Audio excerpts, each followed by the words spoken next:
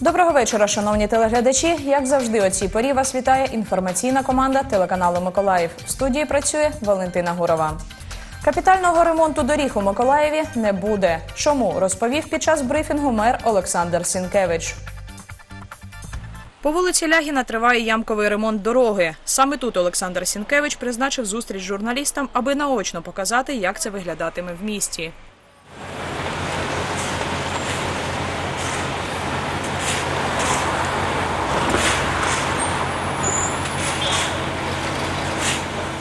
В декабре 2017 года У грудні 17-го року у нас був проголосований бюджет, яким було передбачено на капітальний ремонт доріг 0 гривень 0 копійок. Виділялися гроші 10 мільйонів гривень на ямковий ремонт доріг. Пов'язано це з тим, що капітальний ремонт доріг і поточний ремонт доріг це досить дорогі проекти.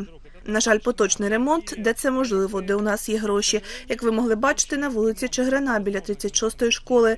Ми закриваємо борги, що не були дороблені у зв'язку зі змінами погоди в минулому році. Ми закриваємо деякі проекти, які були розпочаті і не закінчені.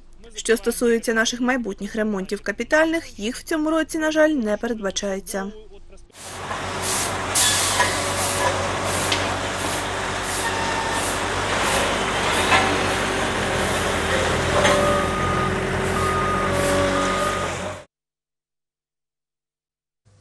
Миколаєві завершилися навчання в 11-му окремому стрілецькому батальйоні територіальної оборони. Цей батальйон сформували з чоловіків, які вже звільнені в запас або з якихось причин не підходять для проходження військової служби.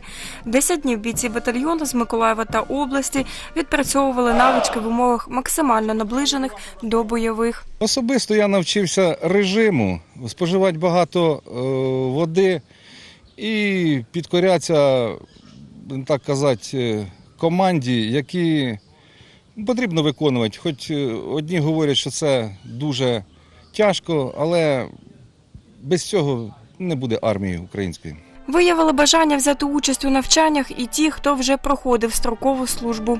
Перш за все, ви знаєте, що завдання і до кожного в разі небезпеки захищати свою батьківщину. Для того, щоб захищати її, треба е, поновити свої фізичні якості, навики свої різних видів А сьогодні відбулось їх нагородження.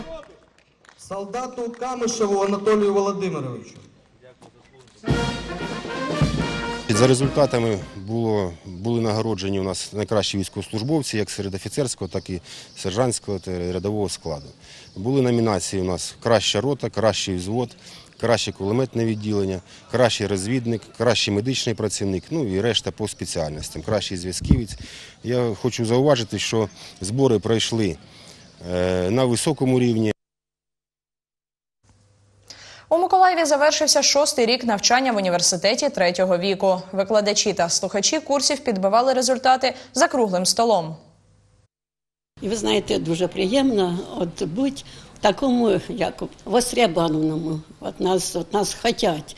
А тоді, коли ми вже виступимо, тоді вже вони такі довольні, що ми обнімаємося. Ми такі, ну, в общем, видно, що ми до них дійшли до їхніх душ, а вони до нас. Людмилі Володимирівні 71. Жінка заснувала ансамбль джерело 6 років тому на базі університету третього віку. Хочеться таких людей підняти усі такі, що вже бабушки. От Йдемо у під'їзд сидять. Куди ти йдеш? Нарядилася, йду. А як у нас сьогодні фестиваль, у нас сьогодні концерт. Та сьогодні вже канікули ж нема, а нам не хочеться.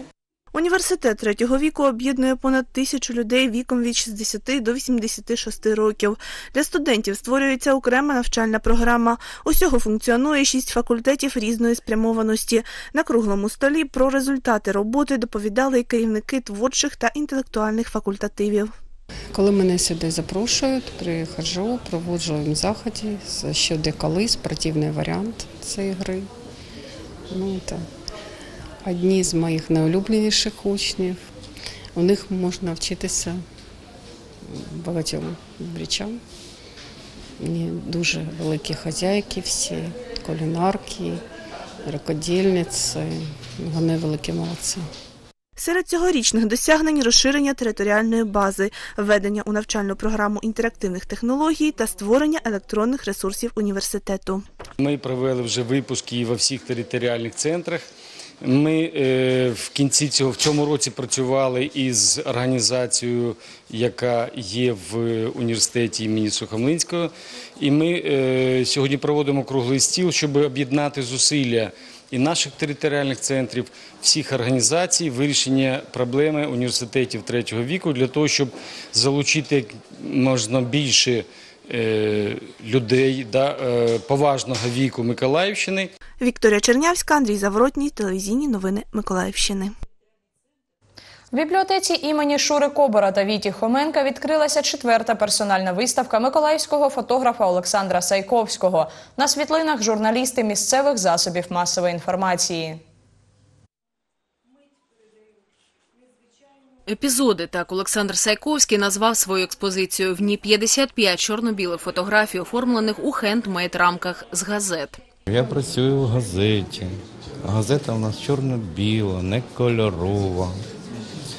Е, Оформлення концептуальне таке, інста- бачите, не в звичайних рамочках, а така інсталяція з газети.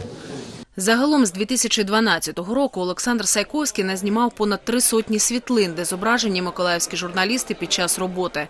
Працюючи як репортер на певних заходах, автор ловив об'єктив і своїх колег. Це була одна із громадських акцій е, на, на Миколаївському майдані, але вже в постмайданний час, вже під час війни. е, Просто ми збиралися тоді з громадськими активістами. Точно не скажу, що саме було за подія, але знаю, що були громадські активісти, були волонтери, проводили ми там своє збіговисько, свою акцію. Так, і от якраз в той момент Сашко мене і впіймав. я ж оператор. Ну, я намагаюсь бути поза кадром, там, сховатись за камерою. Але ну, Олександр Сиковський, він майстер своєї справи, та він буває ловить мене.